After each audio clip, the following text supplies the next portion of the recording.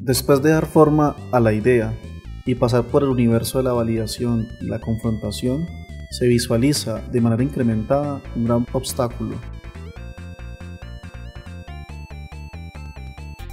Y mirando a mi alrededor, ya no sé si estoy en un avión que va en contra del tiempo y el espacio o si solo estoy en una caja de cartón.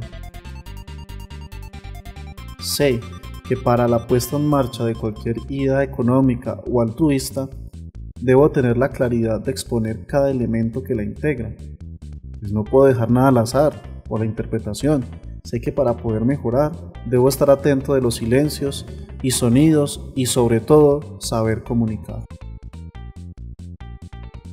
La unidad 3, materialización de ideas creativas en el contexto disciplinar, permite al estudiante proyectar la idea de manera integral, detallando a través de un plan de negocios las bondades únicas y todo lo que se requiere para hacer realidad la idea creativa.